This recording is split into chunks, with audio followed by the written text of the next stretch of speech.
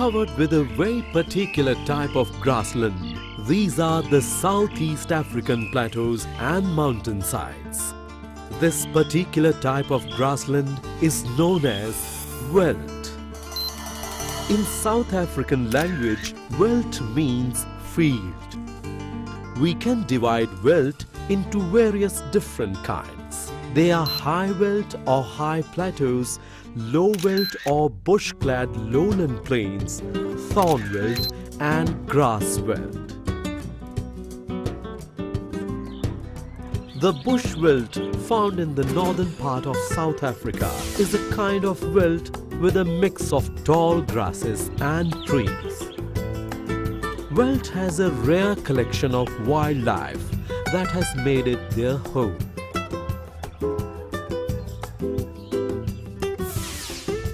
To the west of Veld lies the world's biggest desert, Kalahari. It has vast areas of dry grassland and large herds of zebras and antelope like gemsboks, wildebeest, springboks and elands are found grazing in herds. And at the slightest sign of danger, this herd runs at an amazing speed, leaving behind a cloud of dust for their predator.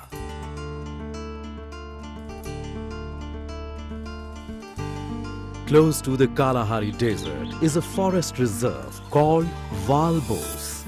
This reserve is home to black rhinos, white rhinos, bison, eland and hartebeests.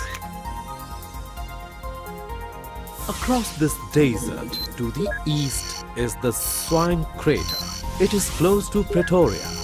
This one kilometer circular crater was created some 200,000 years ago when a meteorite crashed into the world. This odd-looking little animal is one of the strangest creatures living in the world. It is called the aardvark and in size it is same as that of a pig with large pink ears like donkey. Aardvark has a peculiar way to gulp the insects.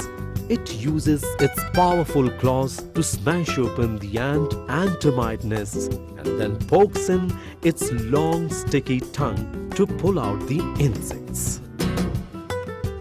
This animal is an expert burrower and can dig hole with an astonishing speed. It can dig a hole big enough for a human being to fall. Among the lush green temperate grasslands, life of animals is a real tolerance test. It is survival of the fittest for the animals living here.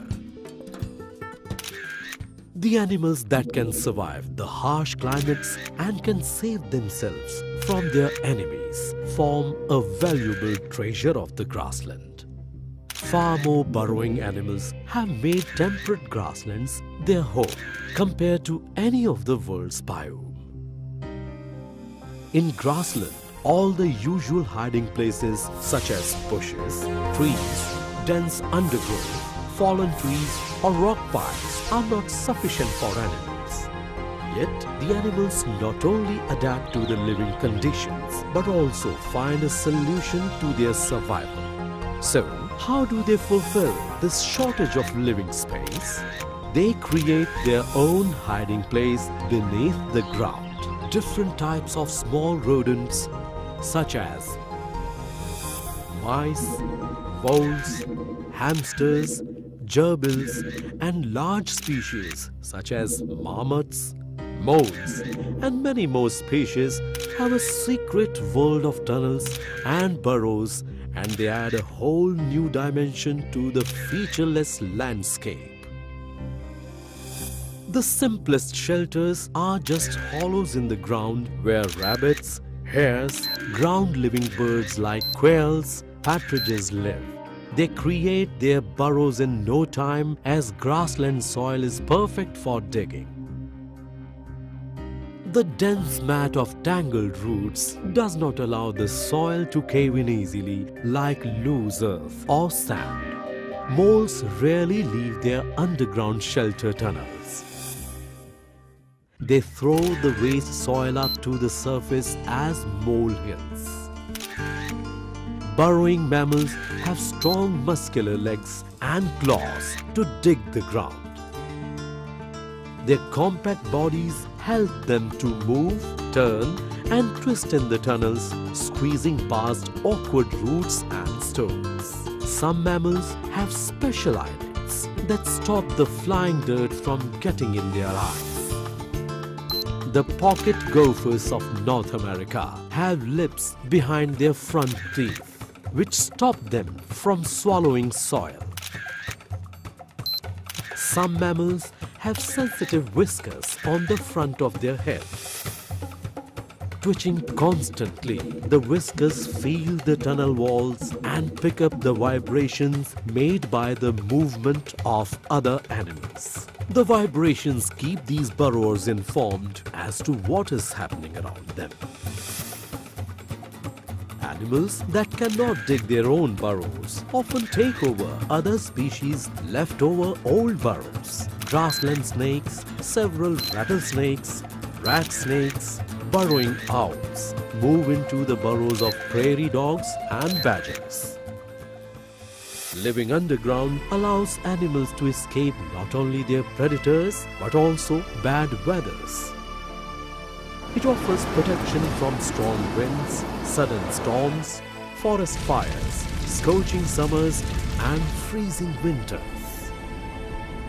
Rodents, tortoises, snakes, lizards survive these by entering a deep sleep-like state called hibernation. In this state of hibernation, the body temperature of hibernating animals reduces and breathing and metabolism slows down considerably. They use very little energy and fat reserves which is built and stored during spring and summer. Many animals can be in the state of hibernation for more than six months. Somewhat similar to hibernation is the state of estivation. The amphibians like frogs and toads retreat to their hiding places to avoid dry hot summers. They hide in the creeks and dried pools or wriggle underground to keep their skin moist.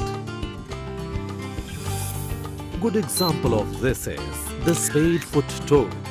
It uses ridges on its hind feet as shovels to dig mud. Once underground, they shed several layers of skin to make a watertight cocoon around themselves. Once when the summer is over and rain arrives, the toads come out.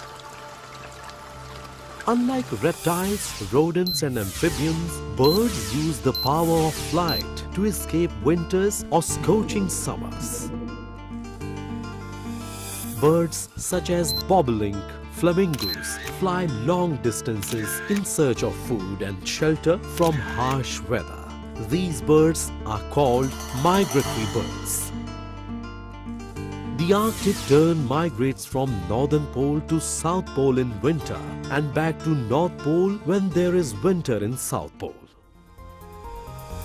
Small birds like larks, pipits, buntings, sparrows, finches, which feed on insects and seeds, gather in flocks and fly for miles in search of food. It is an easy way for food finding as many eyes scan the ground for food. Different species of animals and birds have different ways of surviving.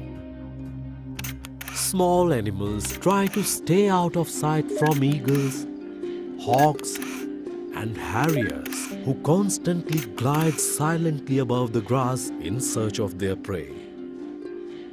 Snakes use their tongue to taste the air for their prey's scent. While hunter dogs like coyote, swift fox, jackals and Australian dingo have excellent sense of smell and sound. Many grassland animals like antelopes, deer, horses, bison, blesbok, pronghorn antelopes live in herds. it is advantageous to stick together. With many eyes and ears on a lookout for an approaching enemy, the predators then find it difficult to catch animals by surprise. The grasslands are able to support such impressive number of animals, right from grazing mammals to invertebrates like ants, termites, beetles, grasshoppers and snails. The larvae of many flies, butterflies and moths also feed on grasslands. Again, earthworms also play a vital role in the biome. They spend their entire life burrowing through soil and sucking it along with rotten plants, thus digesting the plants and throwing out the waste soil in the process, improving the quality of the soil. Stretching across the heart of Asia is the vast desolate grassland of steppes. They form one of the last great wilderness areas of the earth. This region extends from Ukraine and Russia on the eastern Europe through South Siberia and Kazakhstan to Mongolia in northern China. It extends as far as Turkey, Iran and Iraq in the south. Covering almost one third of the world, many parts of this grassland are not habited. The reason for this could be the vastness of this area. Kyrgyz steppe is an immense grassy plain reaching from Caspian Sea in the east to Altai Mountains in the west. This is one of the world's largest areas of dry steppe grassland. Different species of animals like marmots, pikas, saiga, antelopes, Cossack foxes and birds like parrot, harrier are found abundantly in this region. The Altai Mountains stretches from Siberia to the edge of Gobi Desert. This vast land is close to Mongolian Plateau and highlands of Tibet. Most of the places are just sand and gravel and for miles and miles the land is barren. Due to the desert region, only Bactrian camels are found here. Close to the Gobi Desert is the Mongolian Plateau. Population of this region is sparse due to climatic conditions. Above the Mongolian Plateau is the lake Baikal, located in Siberia. This is world's oldest lake and was formed over 25 million years ago when the water was collected in the deep crack in the Earth's surface. It is also the world's deepest lake containing about a fifth of the world's fresh water. It has evolution of the most unique creatures like Coregon fish and the Baikal seal. If the various animals of the grassland can live in the grassland, then adaptability of human to the temperate grassland is inevitable. People have raised crops and livestock in temperate grassland for thousands of years, but still it is sometimes difficult for survival. About 12,000 years ago, people began to settle down in small villages established by them in the southern steppes area of Turkey, Iran and Iraq. They grew cereal crops such as barley, oats, rye and wheat. People discovered that seeds of grass made nutritious food which gave lots of energy. Later, they learned to grind these wheat seeds into flour for cooking and baking into bread. The oldest stone windmill for grinding wheat dates back to 1400 years earlier than 120 BC. Today, farming has spread throughout the temperate grassland biome. It has world's best pasture croplands. Besides different vegetables, soybean and corn crops are grown here. Where it is difficult to grow crops, cattle rearing is the allied occupation. Many grassland farms and ranches are enormous, covering hundreds of miles. Huge harvesting machines along with the team of workers are required to cultivate these farmlands. In the steppes of Mongolia, people however lead a nomadic life. They spend their entire life on move, driving their livestock from place to place in search of fresh pastures. Mongolian herders keep only sheep, goats and yaks as the weather here is extremely unpredictable for farming and the cattle cannot survive the extreme conditions. Yaks are heavier and tougher with shaggy coat that protects them from chilly winds. The tongue of yak is also used by them as fuel. The nomadic herders carry their belongings on the two-humped camels known as the Bactrian camels as they are the best means of transport for steep terrain. These nomads camp themselves in tents called gers which are windproof and lightweight. Dating back to around 13th century, one of the Mongolian leader, Genghis Khan, commanded a ferocious force of horseback warriors on the steppes of Central Asia.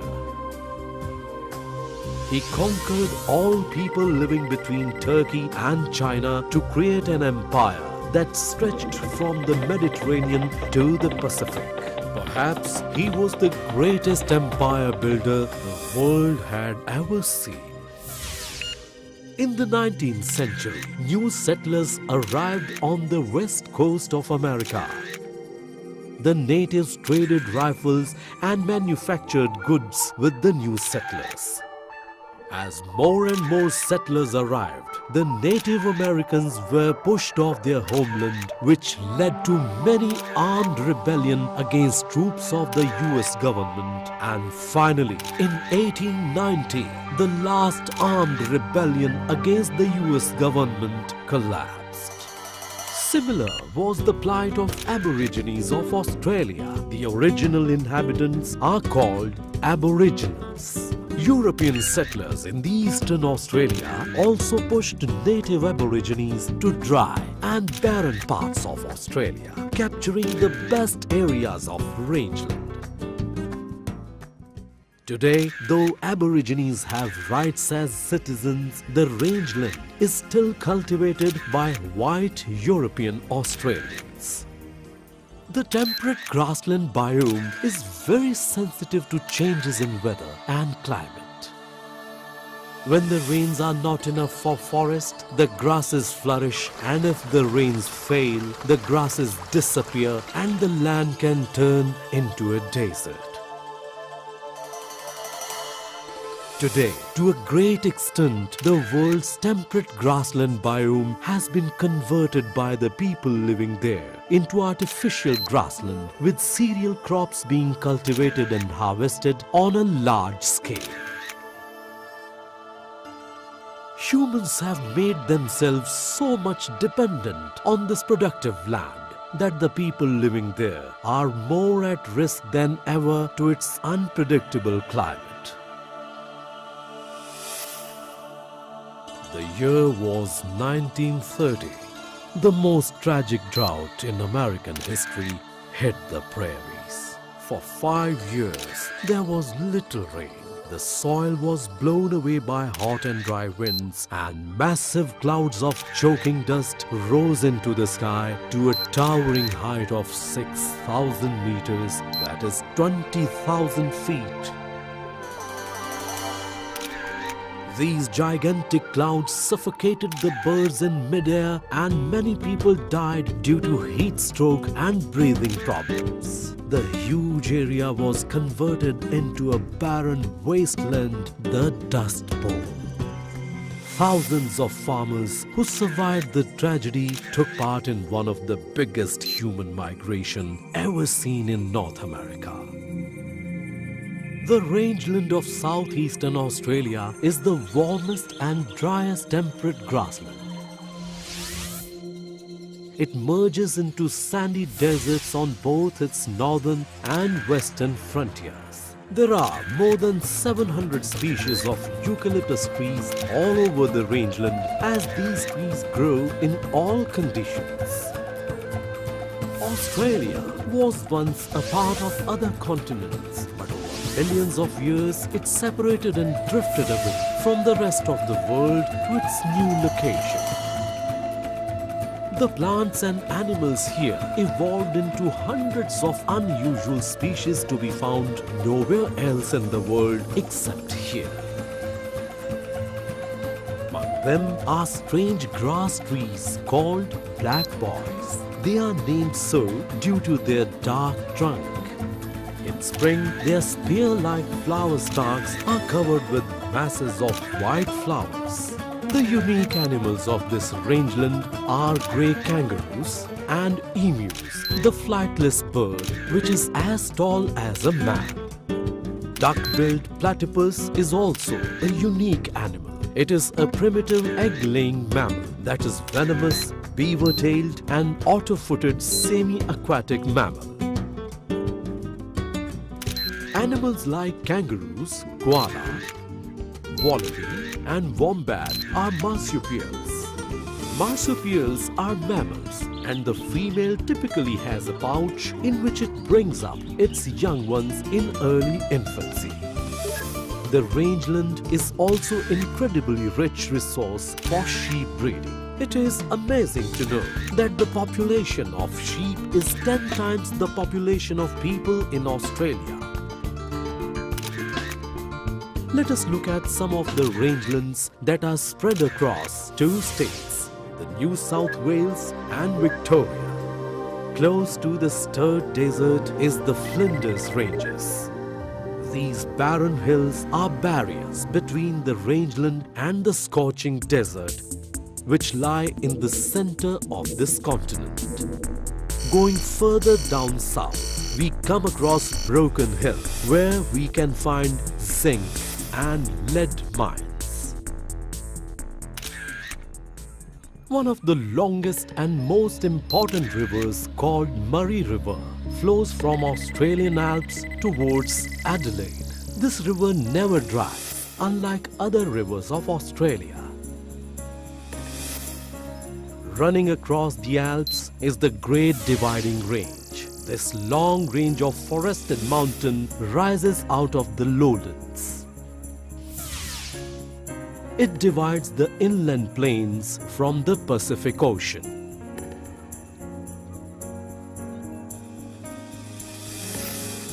Temperate grasslands once covered more than a quarter of Earth's land.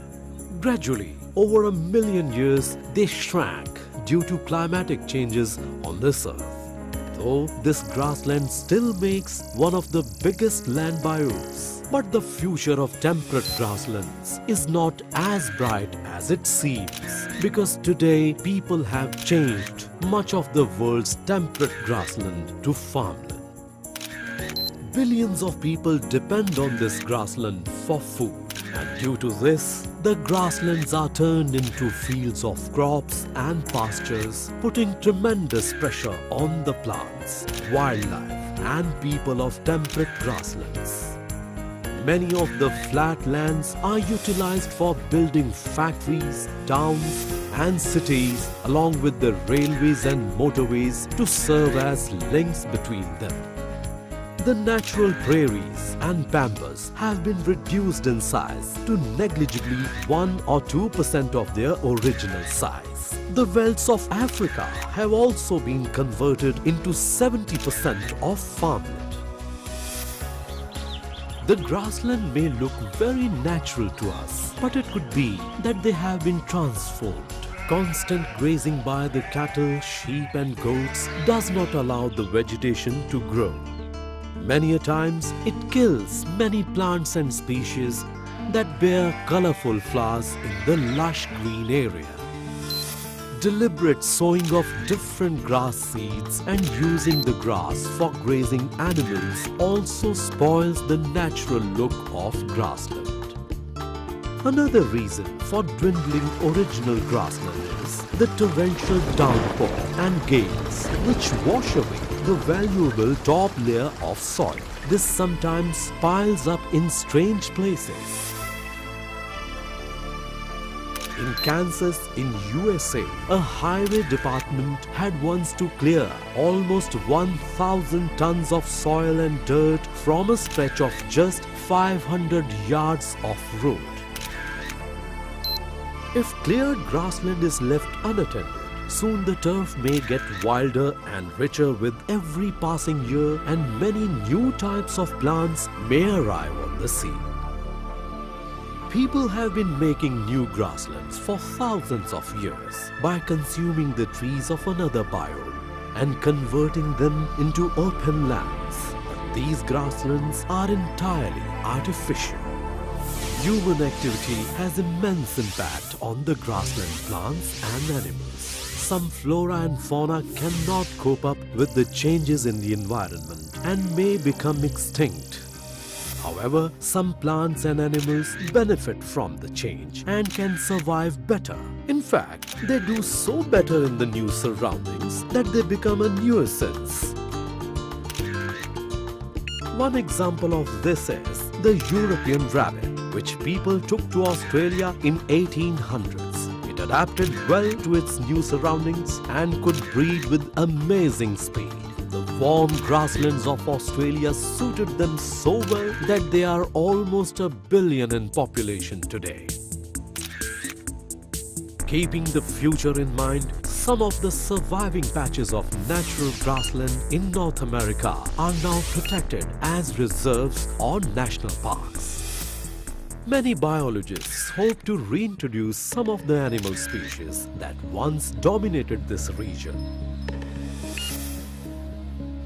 Tule elks and pronghorns have been reintroduced to California's Central Valley grasslands and grey wolves and bison in the Yellowstone National Park.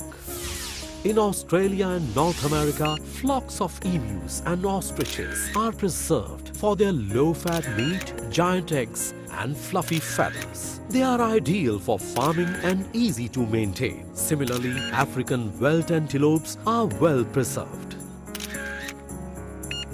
Looking into the years to come, the future of temperate grassland doesn't appear to be bright. Almost the entire biome is put to the severe test of extinction. Many rich areas of plants are becoming rare and increasingly endangered.